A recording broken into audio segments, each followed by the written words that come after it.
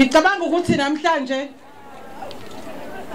ngifisa ukubingela kakhulu i-unit yethu yaka communication ilidwa umamntozi Mthethwa. Sondela Tozi nosiswethu omncanyana okuyena ofika nalolu hlelo ezoreporta sukumhoza hoza ma hoza Sindi. Uze Zanele. Zanele hoza lo mcimbi wena omuhle kangaka? Ile unit yaka communication plus nozanele abafikile kumina bathi bafina ukwenza lo mcimbi. Waze wamuhle umcimbi wenu. Waze wamnandi kwamnandi ukwakha nani? Nyambathi ngisefresh angikhathalanga.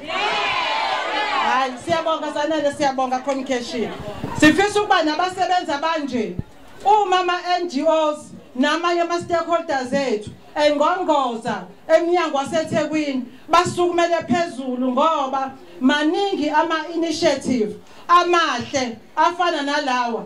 Hayi ngoba uyi-official wazi konke kodwa amakhansela nama-NGOs nabo bonke abantu abanemqondo emihle. Siyakusupporta kakhulu lokho somkhandlu waseThekwini. Ingakho nje sithi kwaze kwamnandi kuba la. It's nice to be here. Itheku li proud today ngale initiative ye awareness campaign about cancer that gives hope to the cancer survivors and those who has been directly and indirectly affected by cancer. Today I'm not only working in solidarity with you, but also on behalf of those who are lying in hospital but fighting the disease and those who have lost their lives to cancer. Njoba sokha nje siwakhela labo abalele ngandletshanyane esibhedlela bese inhlungwini zecancer. Sithi namhlanje sizonikeza ithemba kubo nakwimndeni yabo ukuthi sinomphakathi waseThekwini sinemaplisa organization sinabo The alarming figures are, are according to the World Cancer Organization, with the World commemorating Breast Cancer Awareness Month in October. It is important to address the cancer pandemic and to develop practical strategies to so urgent action can be taken to raise awareness about the disease. Ayive ibhlungi cancer I've seen abantu benayo uma kuwukuthi bezwe late kodwa mawusheshe wayoyichecka uyakwazi ukuthi ulekeleleke Hence today sizokuthi zicheckeni sonke siyichecke ukuze sikwazi ukunqanda lolu bhubhane With this work we will not only promote a healthy lifestyle but encourage women to stay informed so that they can identify early warning signs. In this day and age, being well informed can save your life and empower you. Ngokusheshe wazi kuzokusave lolu bhubhane phinde futhi kwenze wazi ukuthi ungayinakekela kanjani.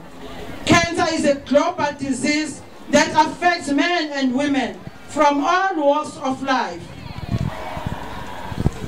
Ngifuna ukusho ukuthi nginifundela ama statistics nje esinawo ngecancer umhlaba wonke. And masinayo ngoba uma wazile uyakwazi ukuthi usheshe uphile.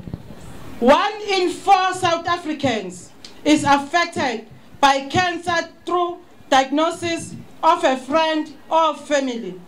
90% of cancer is caused by environmental or health or lifestyle factors such as smoking not eating properly and lack of exercise.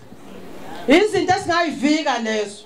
Ukudla ngesikhathi kungakudalela icancer mawungadli ngesikhathi. So siyanxusa ukuthi indlela odla ngayo nokudla okudlayo kuyokwenza ukuthi igwemeke icancer.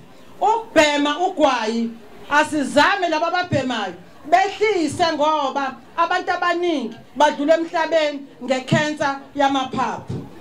Fisa ukusho ukuthi mangase sigweme lezo zinto singakwazi ukuthi egcineni sibe ngcono.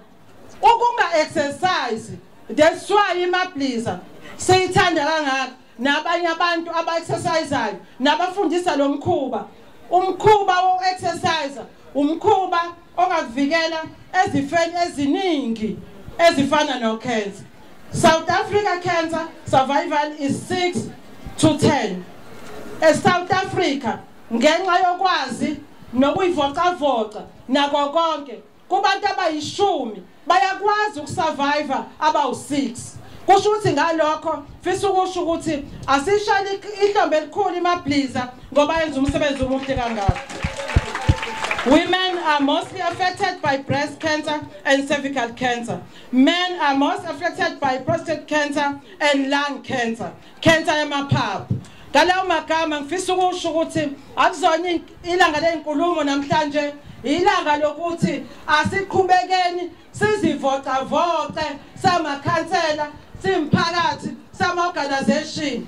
Lo mkhandlu wasethekwini oholwa inqola emasonto sonto oholwa uthambo lenyoka ehlabeni imzondayo oholwa umsholozi umkhandlu umkhandlu. Umkhandlu kamsholozi umkhandlu kwagedle ehlekisa umkhandlu umkhandlu kwanqamalala siyoqhubeka sinisave ngoba le mali ayiphumanga ezulwini kodwa iphume kuhulumeni wenu uhulumeni eniwuthandayo soqhubeka sinixhase ngithi namhlanje silontsha iprogram ukuthi wonke amazone zonke inkalo zasethekwini la ngihlala ngakhona yakhani lama-club.